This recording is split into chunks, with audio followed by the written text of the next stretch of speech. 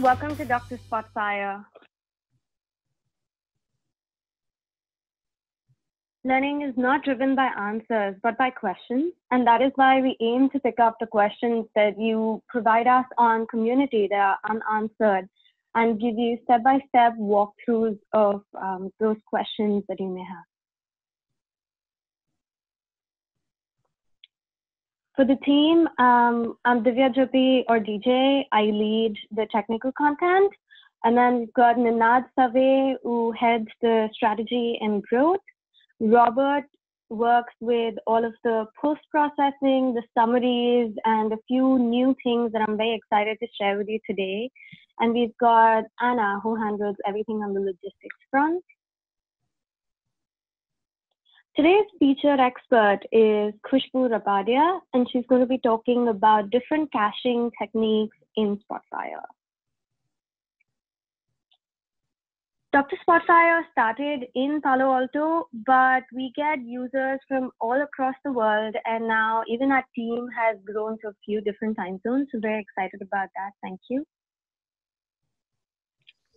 Standard typical disclosures, and Khushbu, over to you. You can get started with today's featured session. Thank you, DJ. Uh, so yeah. So today we'll be looking through uh, what is caching and why do we need it and like how what are the approaches like to achieve caching in Spotfire either in web player or analyst and one more interesting concept we'll be looking about is incremental caching. So caching is basically storing of data in your RAM or in your hard disk so for better performance while loading your analysis so the advantages of uh, caching is it will speed up the process of loading your analysis and it will not hit the database. Every time if anyone opens your analysis it will pick up the analysis from the cached copy.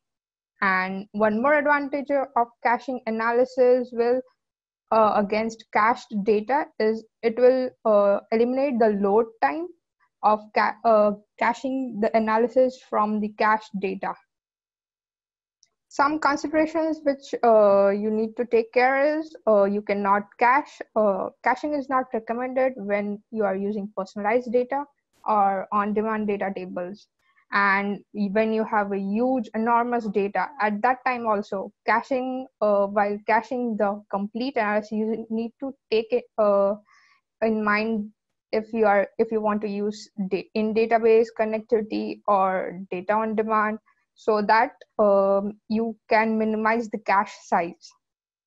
You need to also make sure that you have enough disk space or RAM uh, because cache uh, caching cached analysis will be saved in your uh, RAM. So when people approach for caching is uh, when you have uh, data like you are importing data from uh, the same information link and that's used across multiple dashboards and uh, every time any one uh, user opens the analysis every time that information link is hit and it will impact your database because it is reading from the same database. So uh, what you can do is so in this uh, use case users go for caching the data so let's see how we cache data uh, analysis in web player. So starting with the basic approach of caching analysis uh, using schedule updates. So as you all know, you have uh, how you can cache data on web player. You have the option of scheduling and routing where uh, you can simply create the rules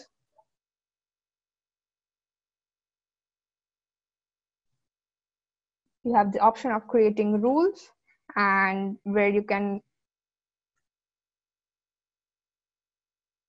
select the analysis file which you want to cache and so I have already created one analysis. Uh, so let's take another analysis.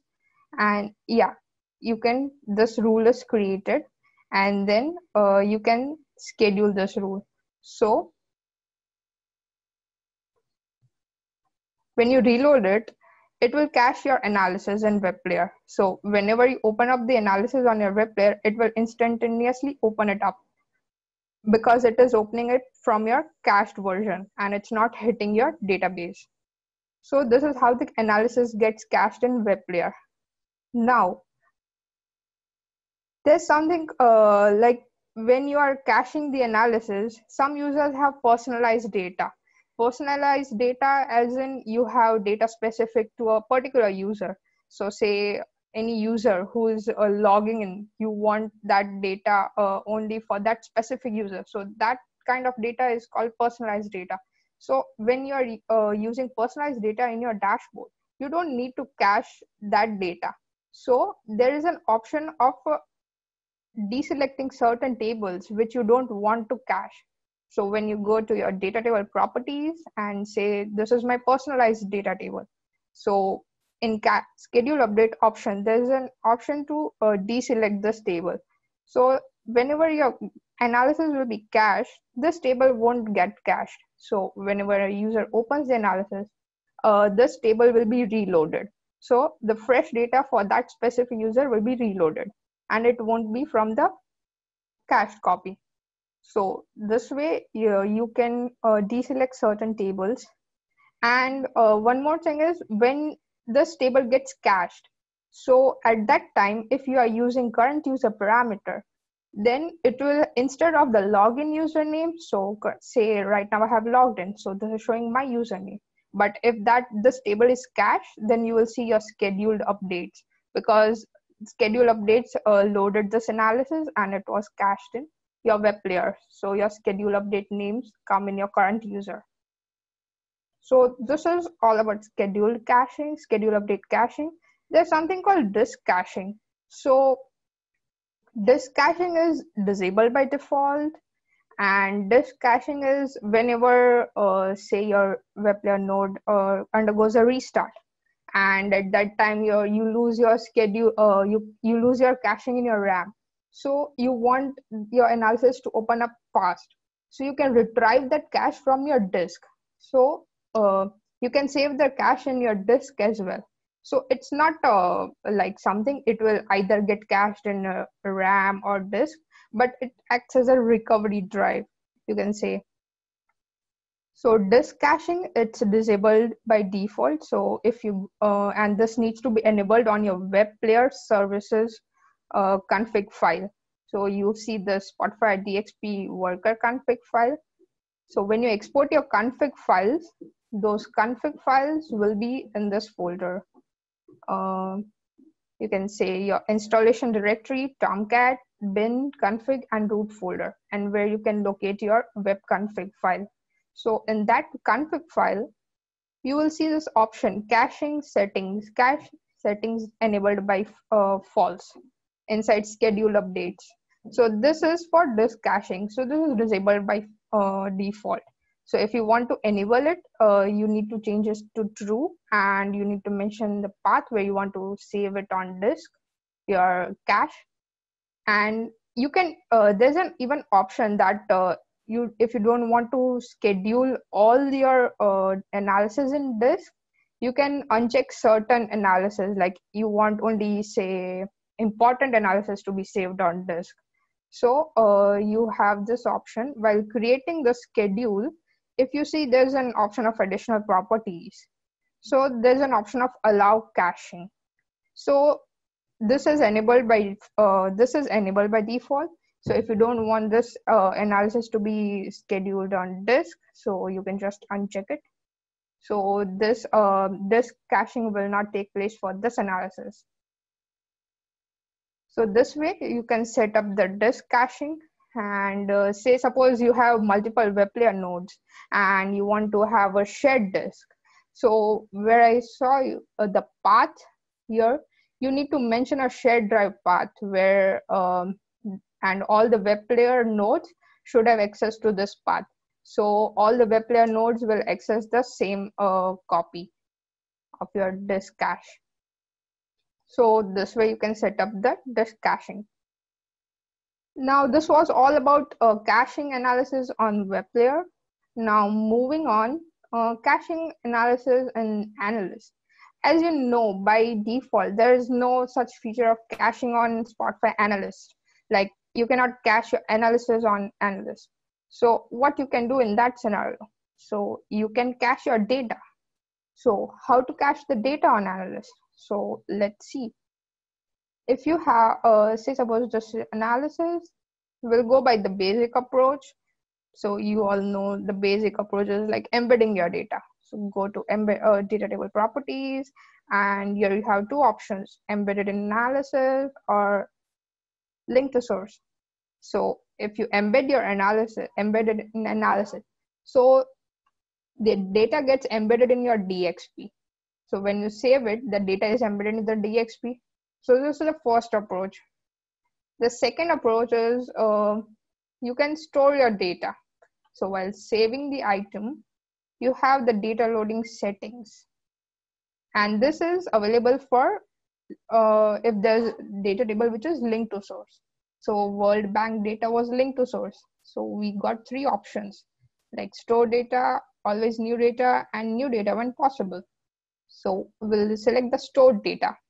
So the data will be saved in the analysis, but when you select stored data, your data table uh, options which you have selected over here, that doesn't get changed. So as you say, you have uh, taken data from an SBDF file, and then you have done insert rows and many other transformations. And when you select embedded, this gets disabled. You uh, the link to source options get disabled. And if you want to refresh it you won't be able to do that. So again you need to uh, change the settings. But when you select stored data the options doesn't get disabled and uh, it will always be linked to source. So if you want you can manually refresh the data so that's one benefit of uh, using stored data against embedded analysis now you have selected, uh, now you have embedded the data in DXP. Now you want to refresh the data at certain uh, period of time. So what do you do? In that, in that scenario, automation services comes into picture. So what is an automation services? So we have a tool automation services job builder from where you can create the jobs for automation services and the automation services need to be downloaded from eDelivery. So I already have a job, uh, so let's see. So if you want to refresh the embedded copy, what you can do is keep one copy as linked to source. So say this introduction to Spotfire has World Bank table, which is always linked to source. And you can save an analysis to library uh, which will be an embedded copy. And you can select the option of embed data in analysis. So this will embed your copy. And uh, then you can schedule this job like say um, weekly or monthly as per your requirement. So you go in uh, i have already created one job you can create it from create task. And you can select the triggers like when you want uh, it to run the schedule. And then in actions it will ask for startup program. So from here you have to select the folder which you downloaded from eDelivery automation services.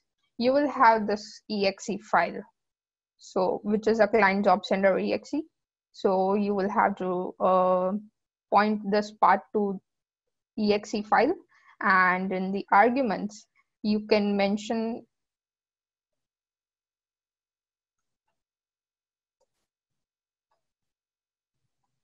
mention the server name and where is the location of the job.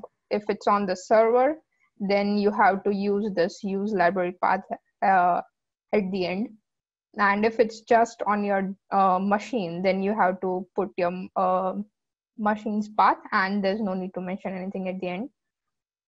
So this way you can set up your job and you can run it. So it will create an embedded DX, uh, analysis. And that uh, and all the other users can use that analysis and it won't hit your database and it will open up fast because it's embedded. Now, you have a require say you have a requirement where you have to use the same data across multiple DXPs. So in that scenario, what you can do is you can make use of SBDF file feature, which uh, which is uh, when you export the data in your library, this data gets exported in an SBDF file format. What is SBDF file? It's a file format which Spotfire uses. It's Spotfire uh, binary file format. So the SBDF files op- gets opened up only in, uh, by using Spotfire Analyst. So you can see this. These are all SBDFs. You can see this icon that is for SBDF files.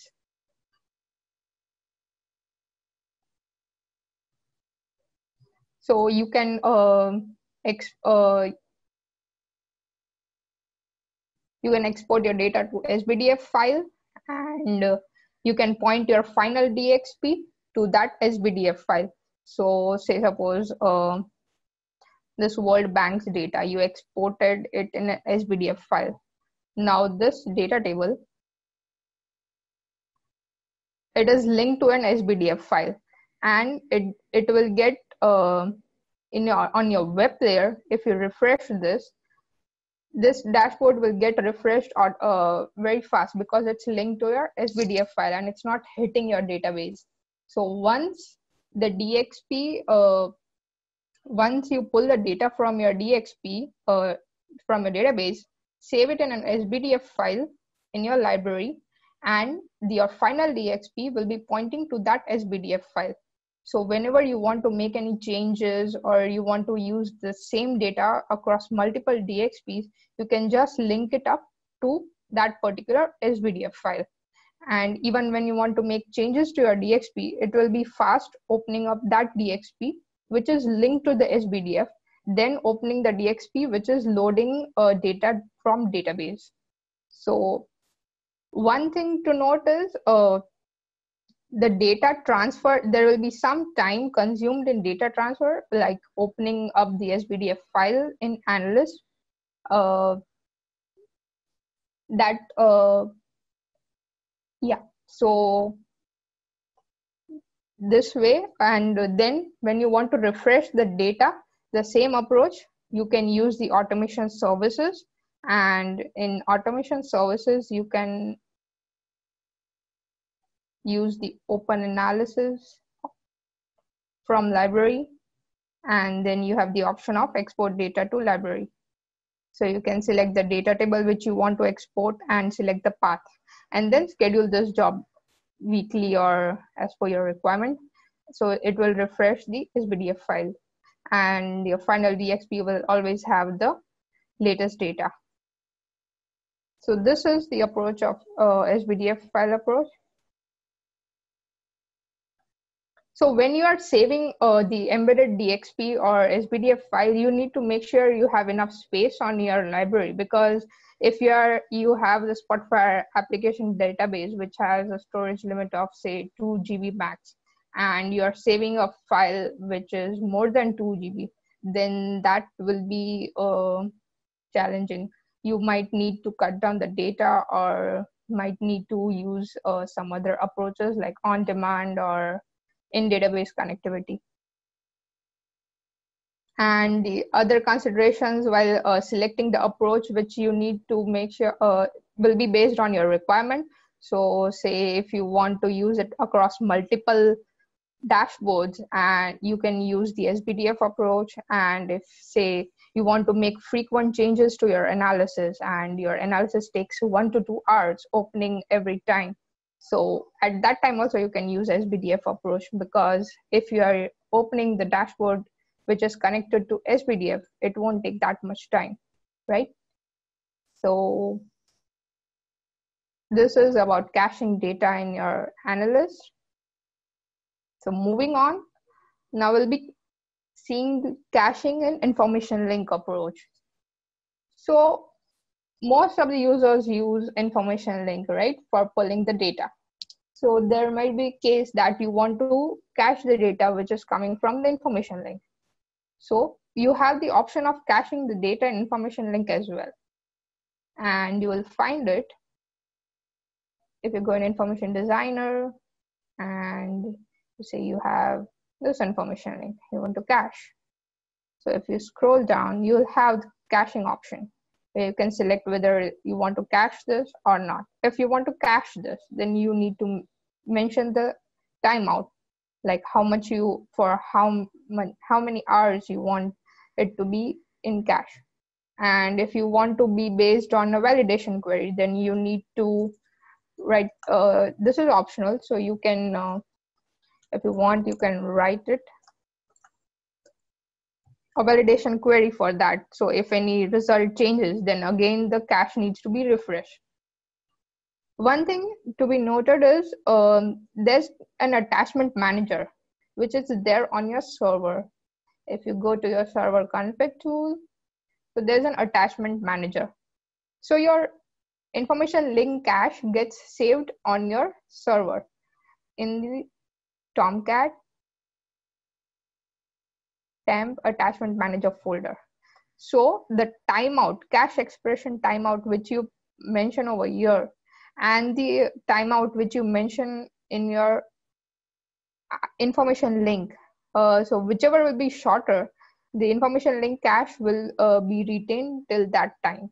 So say if you are mentioning the cache caching timeout for say two days, whereas uh, in attachment manager your cache expiration time is say one day. So the shorter is one day. So your uh, information link cache will be retained till one day. So after one day it will expire.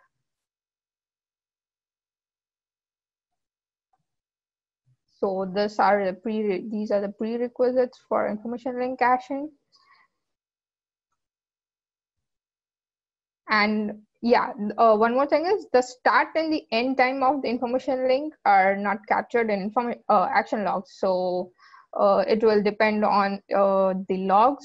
You will need to go through the uh, it can be only be retried from the logs sql logs or server logs. And for triggering this you will need to open up the analysis either on uh, analyst or web player and or through automation services because information link like it does not trigger on its own like schedule updates. You once you open up the dashboard and if it does not find any cached copy on your Spotfire server then it will create one. So this is how information link caching uh, cache gets created. So you open up analysis and it will load data from db at the same time uh, it will cache the analysis, uh, cache the information link. And one um, few things which you need to consider is when you have personalized information link, information link should not be cached when you have personalized information link or on-demand data tables. Even if the uh, information link is cached, say this information link is cached, and you are using this for on-demand data table.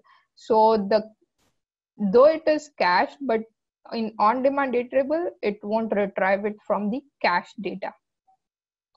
So this is uh, how it is designed. And when you are using multiple Spotfire servers, when they are in cluster, so IL caching is not recommended at that time because IL caching needs to be done on individual servers individual uh, Spotfire servers.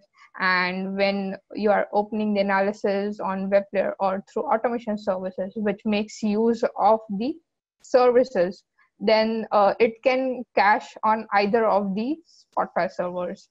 So it won't necessarily go through a particular route. And whenever the Spotfire server undergoes a restart, IL caching uh, will be lost because it's in the temp folder and it also needs to be redone again. And one, if you're uh, say this IL baseball I information link, you are using it across multiple DXPs. So say 10 DXPs, you are using the same information link. Then you need to trigger one DXP at a time once the first DXP is scheduled, information link cache is generated, then you can schedule the rest of the information link. If you cache everything, all the analysis at the same time, then all the analysis will try to cache that information link and it will be uh, it will be tedious on database end as well as the Spotfire server end.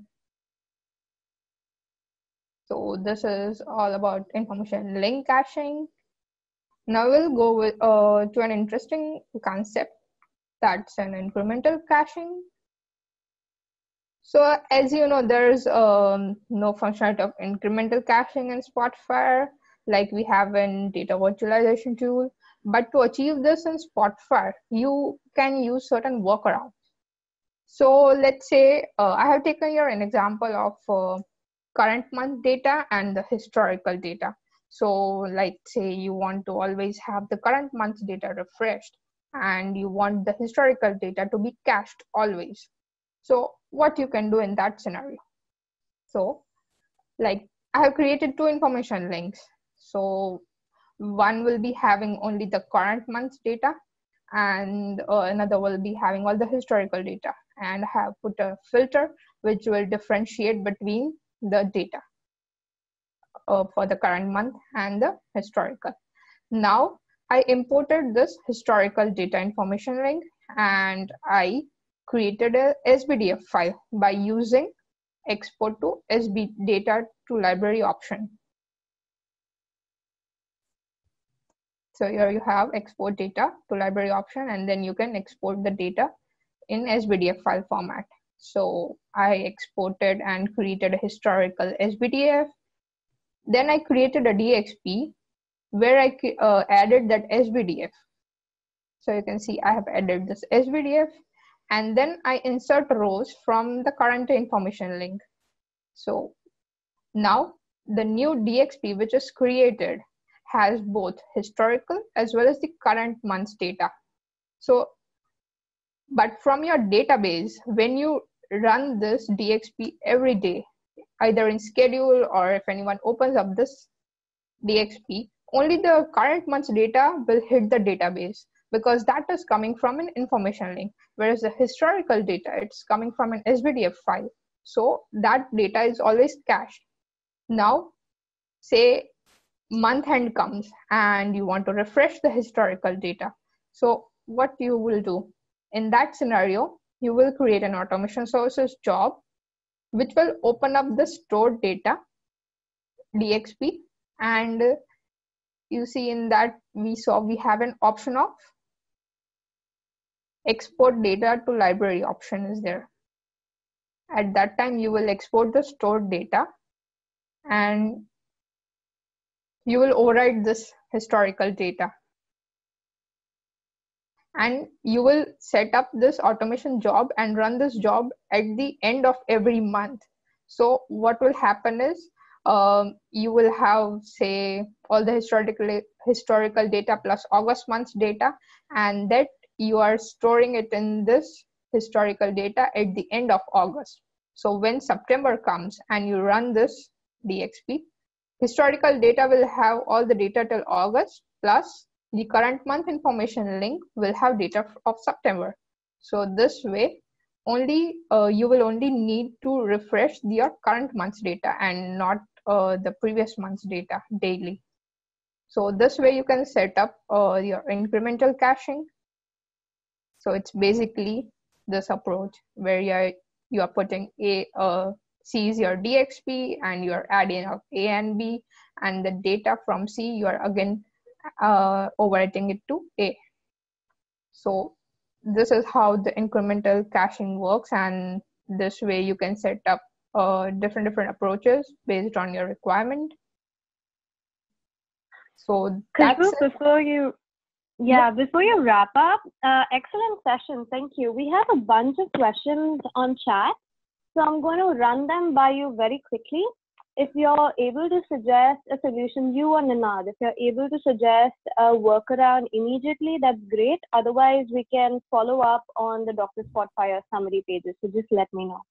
Yeah. Um, the first question is how do we synchronize caching in web player with caching the data in TIBCO ADS. We can get the time from ADS and Spotfire when the data load is finished. How can we use it in Spotfire web player caching? Can we trigger web player cache refresh or Spotfire information data refresh based on ADS refresh time?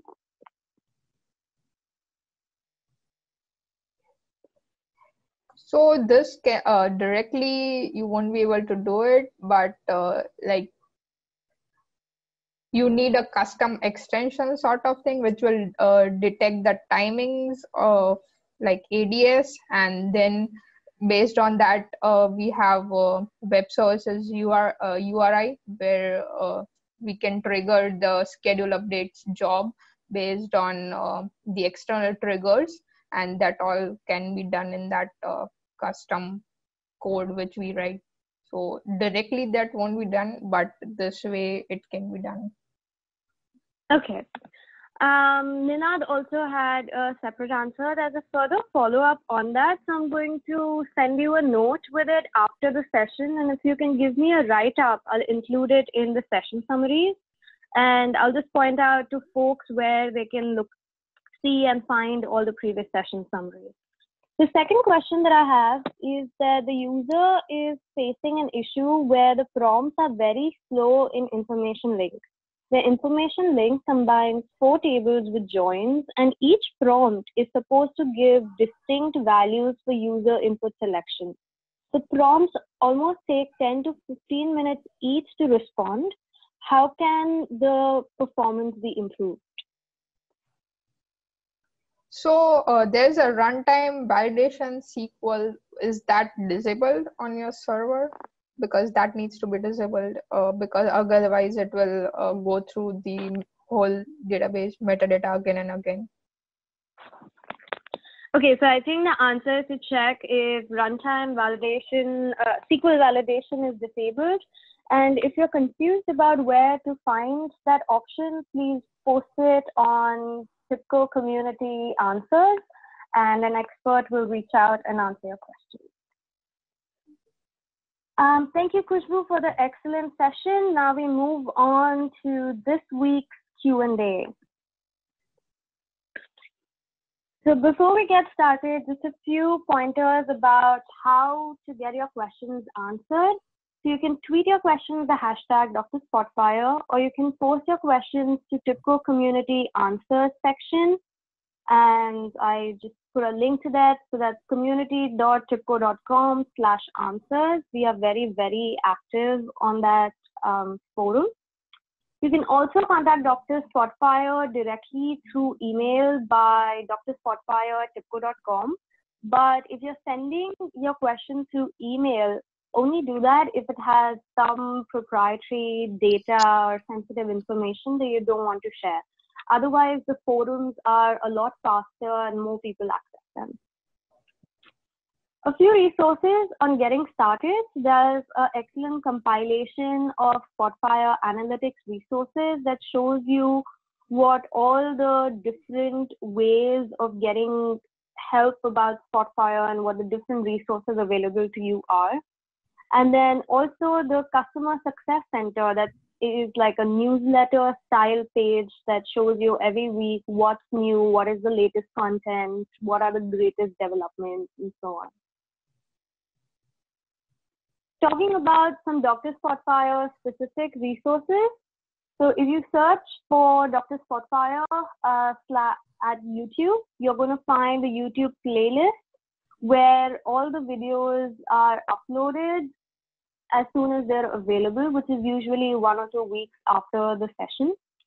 And then you can also find us on community. So along with the basic Dr. Spotfire landing page, we've created this excellent session summary page. Actually, this is all Robert Rushenko. So shout out for that. Great work, Robert. And here you can now see the session written down in text format. You've got the video, you've got the jump timing showing you at what time what was answered, and then you've got a walkthrough of the questions themselves.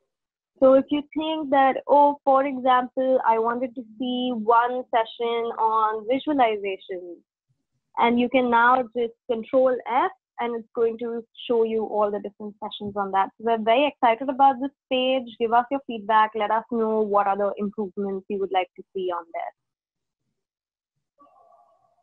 So the first question that we have for today is this user wants to show top n values on a bar chart and wants to show everything else as other. So what I've done is I've created a simple bar chart with states and some values associated with the state. Now I'm going to take this expression function and make it a part of the x-axis. And I can do that by clicking on the categorical axis, custom expression, and I delete this and I insert the one that I had written. And that expression, what it basically does is it calculates the rank for my y-axis expression, which is some value, uh, over all of the values of state. And then if that rank is if that descending rank or inverse order rank is less than or equal to 5, then it shows the state name. Otherwise, it just shows the label, the rest and you can change this label to be something else. You can change this rank, so on and so forth. So when I do that, and let me actually go in again and just change something. So let's give it a descriptive display name, and I do top five. And you can see that I have top five, and then I have the rest. So to make it a bit more readable, uh, please use the access controls that are available, they are very, very helpful and they move things pretty quickly. So you can see that I have all of my options laid out as top five and then the one. For some reason, I have a sticky key, but I can show you that in another data table as well. The second question that we have today is the user wants the primary y-axis to be reverse order and the secondary y-axis to be normal or in ascending order. Um, Spotfire is built to be very, very intuitive. So immediately from the question, you should sort of get a hint that the answer is going to be in y-axis properties. So over here, I've very simply created a combination chart with multiple axes. So I have two axes and I can go into the properties and show you how I've done that. So in y axis, you can see I have multiple scales. Now if I scroll down, you see individual scale settings and this is where you can select the scale that you want. So you can select, you know, my primary one is electronic and now I can change the position, I can reverse it, and I can change my scale range from automatic and set it up. So at the bottom of your y-axis properties, you've got this available. And basically that's what creates the reverse scale on this side and then a positive scale on this side. If at any point you have follow-up questions about the topics that I'm discussing, please post them on chat. I will be picking up questions from chat as well.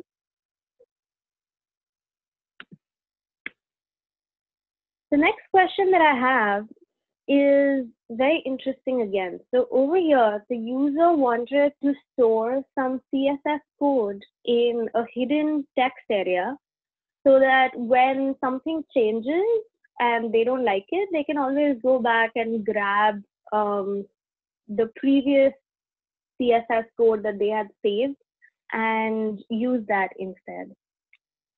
So let me go ahead and show you some sample, very simple CSS that I have. There are two ways of doing this. One, that I can hide my navigation panes and then control which users are allowed navigation. So that's a little bit tricky approach. So instead of going with the concept of um, hiding or using navigation, I'm going to use the concept of document properties. I'm going to duplicate this visualization. And yeah, this is not a direct solution, but it's a very simple workaround that tends to be quite helpful. So now I'm going to insert property control and let's give it multi-line input field. Let's give it the name of hidden CSS.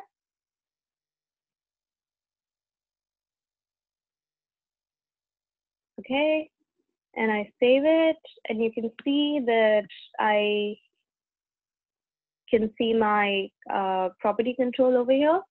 One of the hidden features about Spotfire that I don't see enough people using is that you can just resize all of these buttons and all of the inputs quite simply if you just drag it. You don't need to go to the deep settings to do that. Anyways, so now I've pasted my CSS into my document property. And now I can go ahead and close this text area. So I have essentially hidden my document property. But now if I go in and insert that document property, suppose I want to look it up again, then it's as simple as just adding the property as label, selecting my hidden CSS, and okay. And there you go. This one is coming from the CSS and this one is the original one. So as you can see, I lost some indentation. I wanted to point that out. That's one of the caveats. But if you're using any modern editor, you should be able to quite trivially get your indentation back. So this is a really nice workaround on how to create hidden text areas and hidden controls in Spotfire. On that question, um, we internally at TIBCO Analytics and Data Science team we use this approach quite often um, to store all kinds of things. So, for example, if you want to have a note about DXP versions, or if you want to have a note about authoring information, you know, who the contributors are on this project or what the next steps are. This little text area trick where you can just hide your document property is something that we use all the time to write down notes and dependencies and things like that. It's quite useful beyond this initial application as well. The next question that we have is creation of graph in Spotfire. The user wants to create not any graph, but very specifically network analytics um, which is used to visualize graph data. So for this, I want to point you to this one um, resource or article that I wrote, and I'm going to send you the link on chat.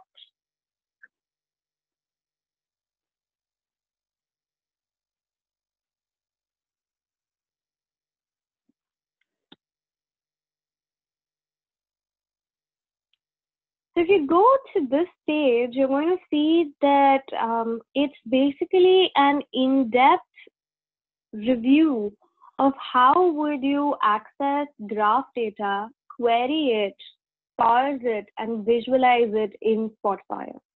So the example that I'm taking over here is Neo4j, but you could use any other graph data source which has a driver or a package or an extension available for Spotfire or connectivity through TERR, and we have um, packages to check for that. The first thing that you do is install, over here I'm using R-Neo4j, that's the package. So I install it, and that gives me access to running Cypher queries. So I've explained how to uh, pass your Cypher and how to get back the results. But the portion that I want to concentrate on are these four things. You know, how do you display graph data in Spotfire? So Spotfire works with relational data, um, that is rows and columns. Graph data tends to be objects. So when you're bringing back that graph data, parse it into what's called an edge list. An edge list is pretty much the standard convention accepted way of um, representing graph data. It usually has nodes from and to, and then you would have the type of relationship encoded as well. So there are four ways to, four major ways to visualize graph data in Spotfire. One is using graph libraries in R, and this is another article that shows you how to um, create R graphics in Spotfire. Then the second method that I'm going to talk about is using network graph visualization, which is what the user has asked for. And I've listed all the resources that you can download and install and test out your setup on. Then we also have an exchange template available for you to look at graph data, but also to do some advanced analytics with it. And that's something I'll be walking through in a little bit of detail just now. And finally, uh, we've got a tutorial on how to create your own network chart using JSViz and Zoom charts.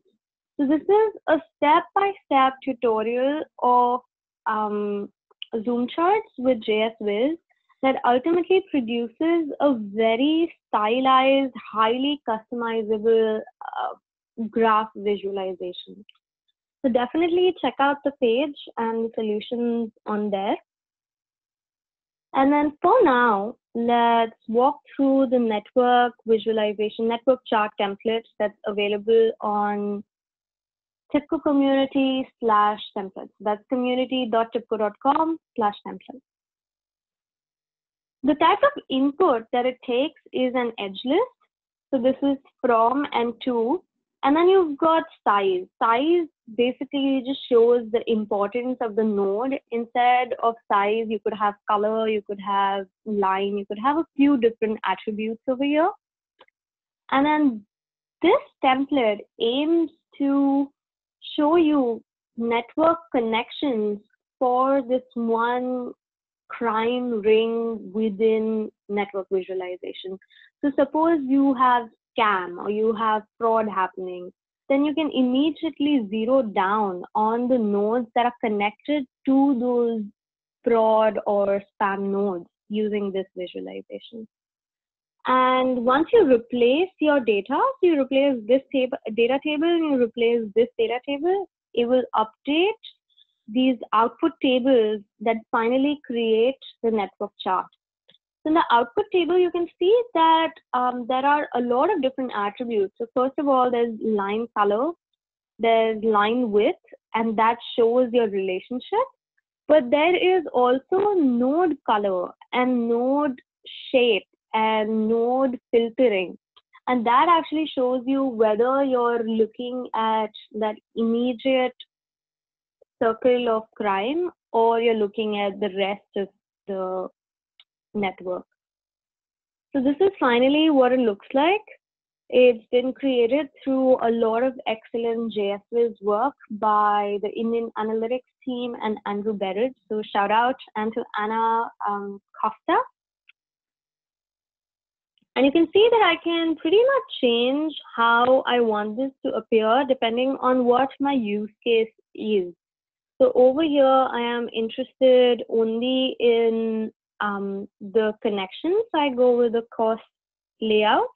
But suppose I was doing some kind of a. So if I was doing like a traveling salesman or something that I needed to enumerate, I could do breadth first as well. Over here, there's a lot of cyclical connections. That's why it doesn't look um, as good.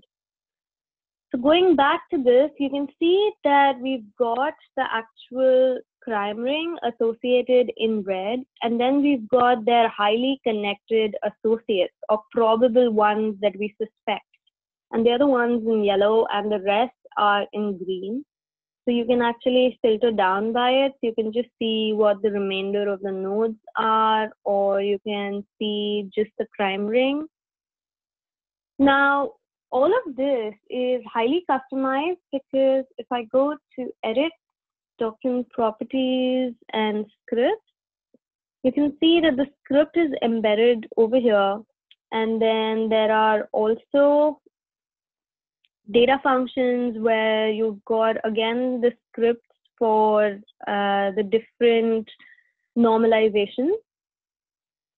So you can go in, dig it up, add your own customizations, make your own changes how you would like to see them happen. And yeah, this is ready to use as soon as you replace your data table.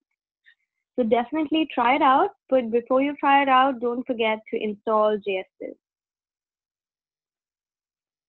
Moving on to the next question for today. Um, if there are, Ninad, are there any questions on chat that I should address? Um, I don't think so. I try to take care of uh, some of them around enhancement and stuff. You're good. All right. Awesome. Thank you. Um, yeah, if you do have questions, keep sending them on chat and Q&A, and we'll get to them either in session or in follow-up after the session. The next question is that the Spotfire user is unable to view the add new tables within um, this. So basically, all of this is grayed out for this user. So normally, a lot of times, the default user has basic sets of permissions but every once in a while, when your administrator is restricting certain controls, it's very easy to restrict controls that are extremely basic and should be available. So you should ask your administrator to provide you access to what I'm going to show you now, which is, and this is only going to work for your super users and your administrators. You probably will not have all of these options. If you go to Tools, Administration Manager, groups and licenses and you select the group. So I have a bunch of different groups. Let me see for everyone.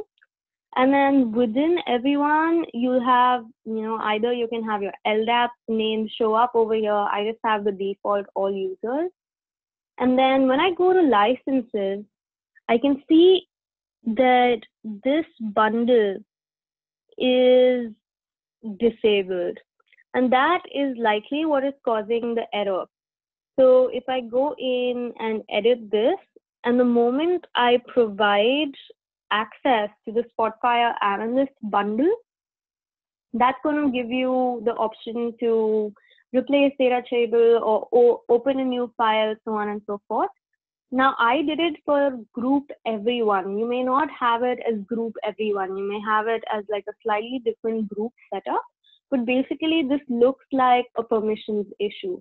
In case the permissions does not help solve it, I encourage you to start a support case at support.tibco.com and they'll be able to look into the matter in more detail for you.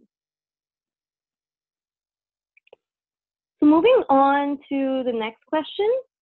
Um, this one is a very interesting question.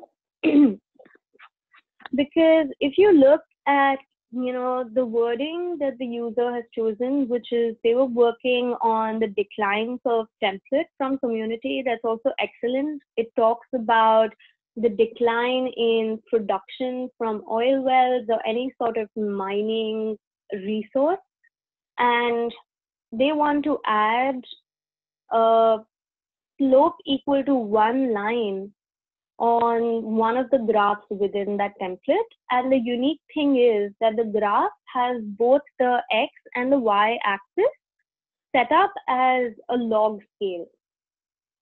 Now, the first thing that I want to say is that it sounds like it's a question about the decline curve. And that happens a lot of times when users ask their questions on community, that they think that it's a template problem or it's a script problem.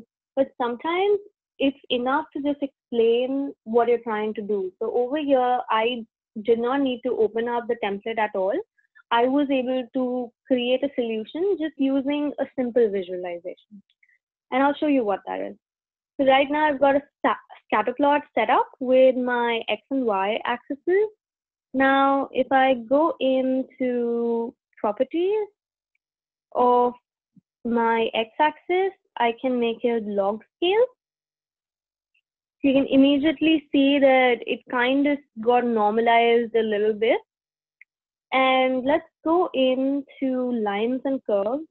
And this is where I'm going to add a curve of slope one. So the left hand side of this curve expression is always y. So on the right hand side, the expression that I'm going to enter is going to be x because that is basically a line of slope 1. If I do x plus 100, that's a line of slope 1 and intercept 100. So let's go ahead and just add y is equal to x and let's give it a custom name which is slope 1 line. And then I can go ahead and say that um, I want to see my curve name in the label. And you can see that it comes at the very bottom over here. So if I go in, and that is because we are in log scale. So if I remove log scale, you can see that your slope one line shows up perfectly. Now, what happens to this line if we are in log scale for both x-axis and for your y-axis? So I enabled the log scale for both of these axes and you can see that the slope one line still works perfectly. So it's still perfectly good to use this line. Um, and that's basically it. That's the solution to have y equal to um, x. And you can do y equal to sine x. You can use some other complex polynomial function like x squared or x cubed, and Spotfire just supports uh, different expressions in that. So um, thank you so much for joining Dr. Spotfire. That was all we had for today. Definitely send us your feedback through email, or if you have any more follow-up questions that we've not been able to address today, please post them on community.tibco.com slash answers with the hashtag Dr. Spotfire. Have a nice day.